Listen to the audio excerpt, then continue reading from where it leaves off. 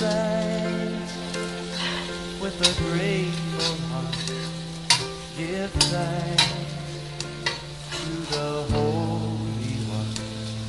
Give thanks because He's given Jesus Christ.